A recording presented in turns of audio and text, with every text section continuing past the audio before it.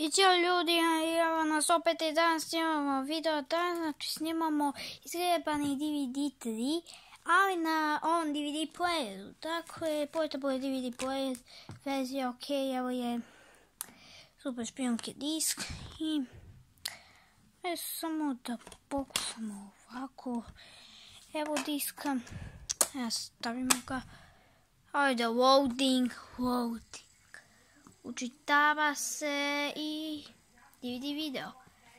Ok, zorenje.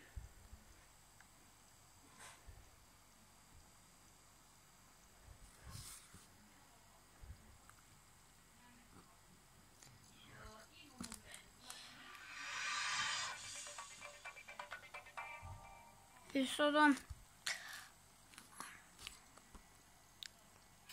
nemam ono kao da kliknem, dakle, ako kliknem bilo koju epizodu, disk samo stopira. Dakle,